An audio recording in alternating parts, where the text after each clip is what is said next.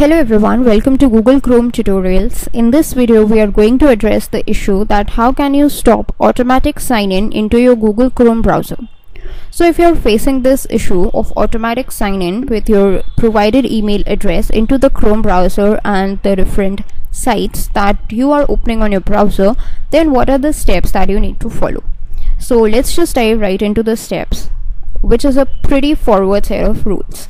So what you need to do first of all is open up your Chrome browser, click on these three dots, go to the settings.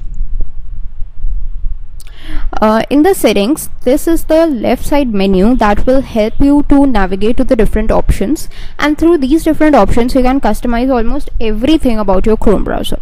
So what you need to do is click on you and Google. This will bring up this kind of a page. In this you and google you have this first option sync and google services so let's just click into it.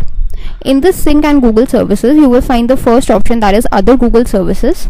So in this option you can see a bunch of other options that are enabled. And the first one is allow chrome sign in by turning this off you can sign into google sites like gmail without signing into chrome. So this is the issue that we are addressing. If you don't want Chrome to allow automatic sign in what you can do is you can just disable this option and this will change from blue color to gray color. Then you will see this kind of a warning on the bottom left corner that to apply your changes you need to relaunch chrome. So once you have done this change you just click on the relaunch button. Your chrome would be relaunched and the sign in would be disabled.